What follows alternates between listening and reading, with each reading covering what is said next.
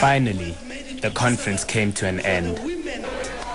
Does this warrant 69 million South African rands?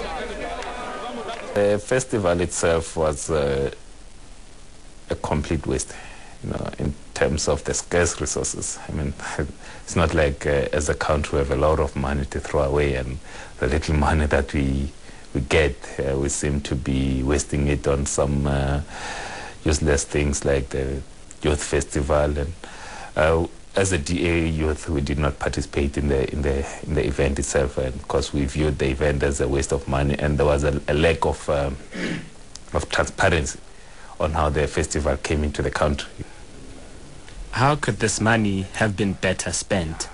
Yesterday I was uh, listening to the news and there were long queues in universities queuing for for NSFAS, you know, and who knows, that 70 million will have assisted uh, quite a number of students who want to pursue their education, you know, and that for me, that's something that directly impacts on, on a young person's life. We ran over to the offices of the NYDA in Midrand to speak to its chairman, Andy Lungisa, to find out what the point of hosting the event was.